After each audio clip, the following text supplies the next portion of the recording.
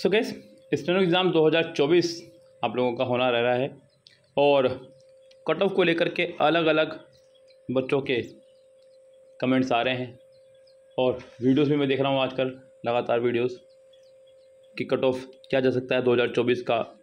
देखिए, अभी से कट ऑफ़ के बारे में कहना मैं मानता हूँ कि सही नहीं रहेगा।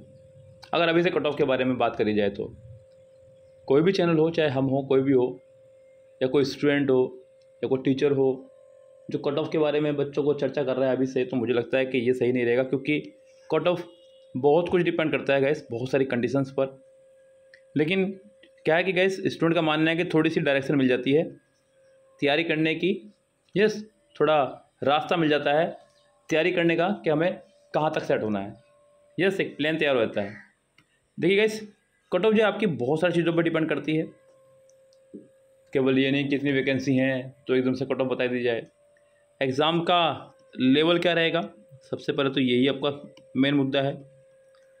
कितने नंबर ऑफ़ स्टूडेंट ने फॉर्म भरा है? ये एक और मुद्दा है। यस कितने स्टूडेंट ऐसे हैं जिन्होंने फॉर्म भरा है? क्योंकि प्री एग्ज़ाम के अंदर ज़्यादातर देखा जाता है कि बहुत सारे स्टूडेंट ऐसे भी बैठ जाते हैं जिनका स्टूडेंट से कोई लेना देना है ही नहीं।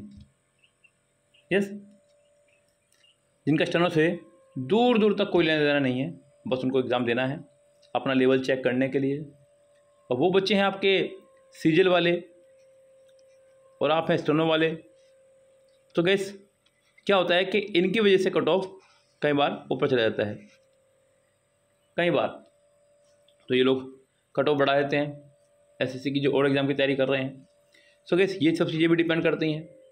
कितने स्टूडेंट ने फॉर्म भरा है एग्ज़ाम का लेवल क्या रहा है, फिर नॉर्मलाइजेशन कई बार मैंने देखा है बहुत सारे बच्चे नॉर्मलाइजेशन की वजह से बाहर भी निकलते हुए देखे हैं और नॉर्मलाइजेशन की वजह से अंदर भी आते हुए देखे हैं। यस सो गैस ऐसे में कट ऑफ़ के बारे में कुछ भी कहना पहले से बिल्कुल गलत होगा। लेकिन आप लोग अपनी कैटेगरी के हिसाब से लास्ट ईयर के जो भी कट ऑफ़ रहे हैं, उन्हीं में ही टेन प्लस मार्क्स करते हुए अपनी तैयारी करते रहे।